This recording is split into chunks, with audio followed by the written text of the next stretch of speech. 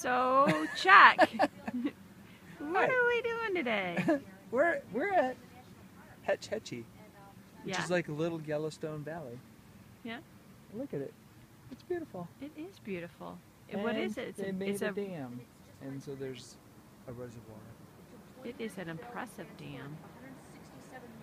Angie is giving us a history lesson of it over here. It's all gravity. Without the use of pumps. It's just, it's just power. It's great power. This complex system of tunnels, pipelines, and facilities took 20 years to build and transport snow melt 160 miles entirely by gravity, without the use of pumps. Huh. I'm hanging on to my camera really tight It's a gravity dam. because there's so much gravity. How far are we walking today? 85 miles.